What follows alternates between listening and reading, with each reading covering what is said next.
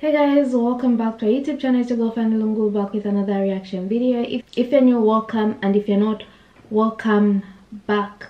Thank you for 20,000 subscribers. Keep subscribing, liking, commenting, sharing, and please motivate me by giving me stuff to react to. And yeah, so today I'm going to be reacting to Christianity Has It All Wrong. Wrong about God and Messiah. Rabbi Tovia Singer. So without wasting time, let's get into the video.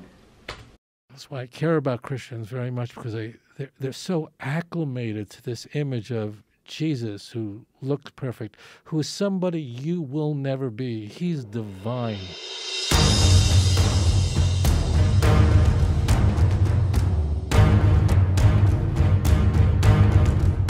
I'll call you live on the air. Please tell us your name and where you're calling from. Hi, Rabbi Toby. My name is Shamas, and I'm calling from Melbourne, Australia. My question for you is that is it anywhere written in Old Testament that the Messiah of the Jewish people is is divine in nature? If not, can you please tell me what nature is of a Messiah? Like, is he a human or or a superhuman or anyone who can do all those things which God can do, or he will be just a normal person like uh, all of us? Thank you. That is a great question. Oh, yes, this will be fully loaded. Rabbi, that's a good one. Take it away. That's a really excellent question. And I'm going to guess, please don't be offended, but I'm going to guess that you grew up in a Christian world where these kinds of ideas were made complete sense.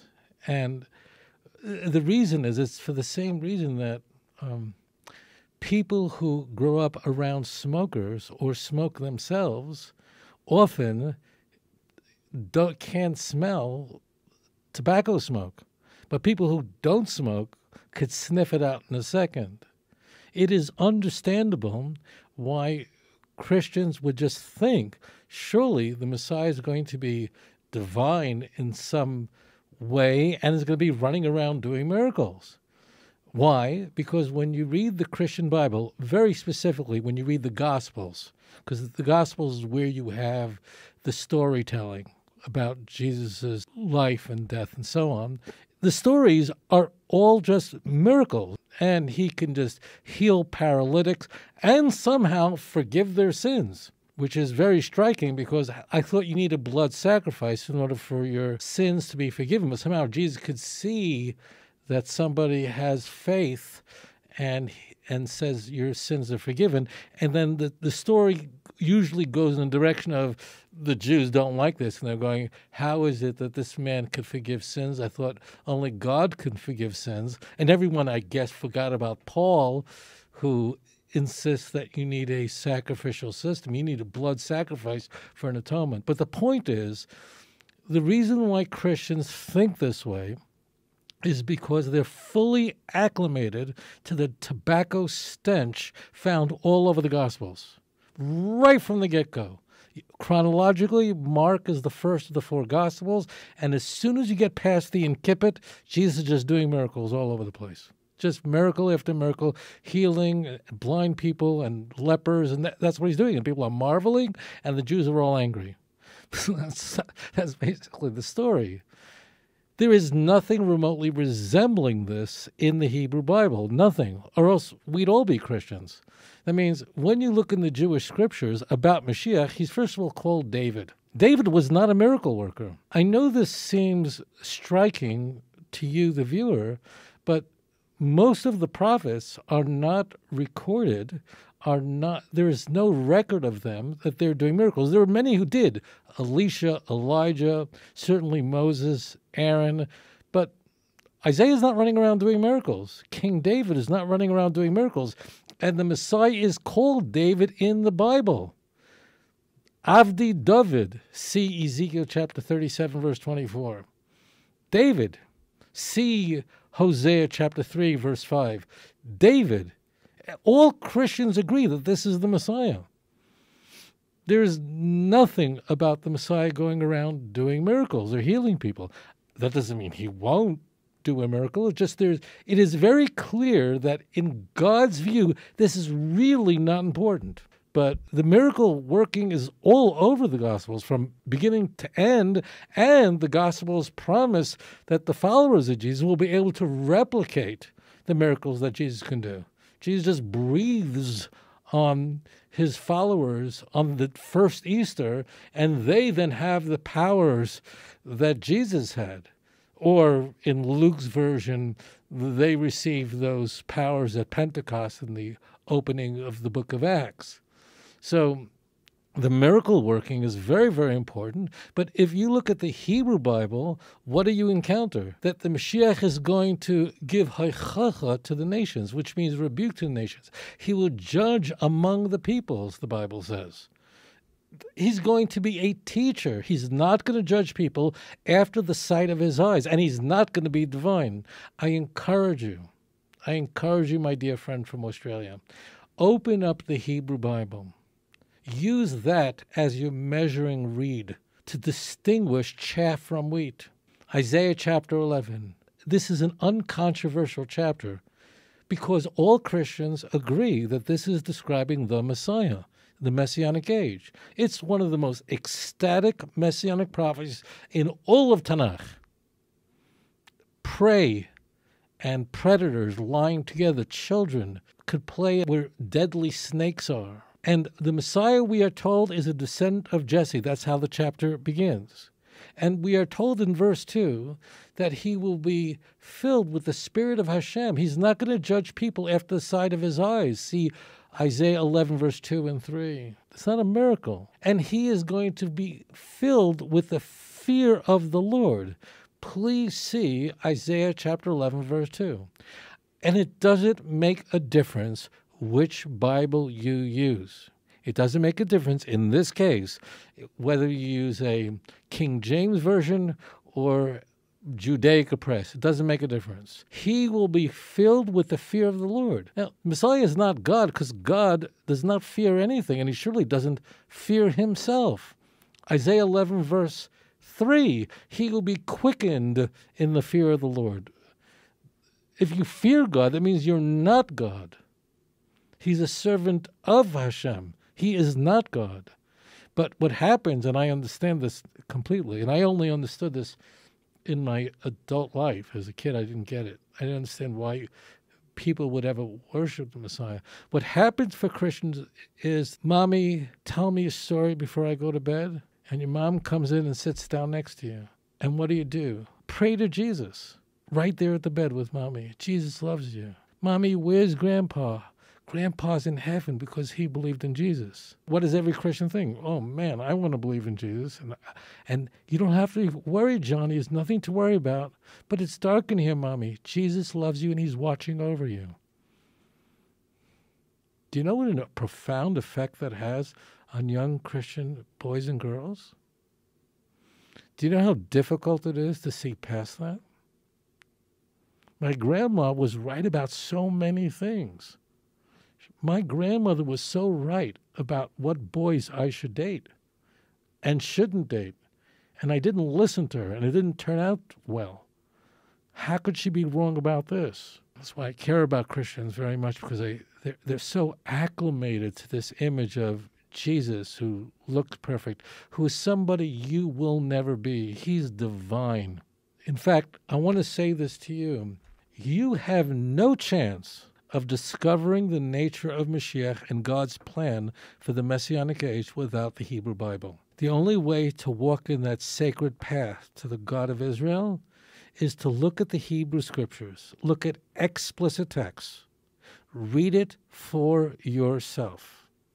Go to primary texts.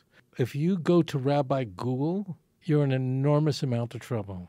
Read a chapter like Isaiah chapter 11, which we just discussed. Read the epic passages that fill Isaiah chapter 2, in particular, the first five verses. These are epic messianic prophecies. Read the end of the entire book of Ezekiel. Just do it on your own. Like, just take Ezekiel, you could stop with you want chapter 34 and go right through to 48. That's the Word of God. Look, you know there are many religions in the world, and they're saying that they have in some way superseded Judaism. Judaism was once true, but now God has a new covenant, a new dispensation, a new salvific method of bringing people to eternity. You always go to the original, go to primary texts. These passages are not difficult to understand.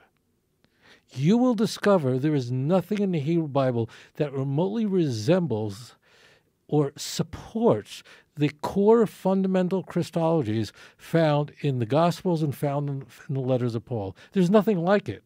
There is nothing like John chapter 6. Take this bread, this is my body, eat it. The wine, drink it, that's my blood. There's nothing like that. There is nothing like what we would find in all the Gospels, the Last Supper.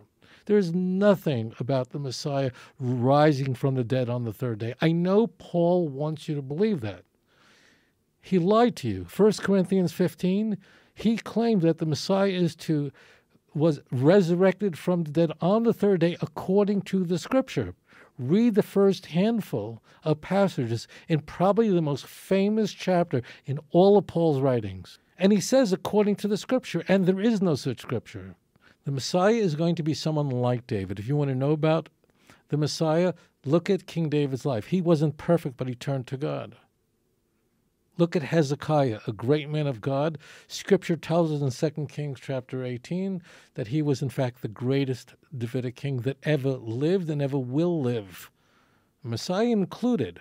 No Davidic king will ever be greater than Hezekiah. Please look at 2 Kings chapter 18, verse 4 and 5. If you look at these passages, if you breathe clean air, just clean air, unpolluted air, uncontaminated air, just nice, pure mix of 20, 21, uh, 79. Just that nice mix, right, of just air, nothing else.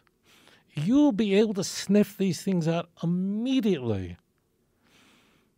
If, on the other hand, you're so acclimated to tobacco, you're so acclimated to smoke, you, you, you work in a casino in Australia you work in a casino in Singapore and you could you smell the smoke constantly that at some point you don't even smell it anymore. So it's very important to say, Hashem, please wash me. Please cleanse me. Fill your mind with the Hebrew scriptures, with Tanakh. Zephaniah chapter 3, one of the greatest men that ever lived who preached about what the world would look like, the nations of the world would look like at the end of days. They'll speak in a Safa Brura, a pure speech, the nation of Israel. The remnant will dwell safely. See Zephaniah chapter 3, go right through 12, 13, 14. And you will come to the God of Abraham, Isaac, and Jacob in a pure relationship with HaKadosh Baruch Hu. Thank you so much for your question. אדון עולם אשר מלך בטרם כל יציר נברא ועת נעשה very interesting video. Um, I guess the message is very, very clear, but I would love to add that um, I love his advice on going back to the primary source of something. Always do your research, always go go dig to get to the bottom of something so that you find out for yourself and make sense of some of these things that don't make sense in the world.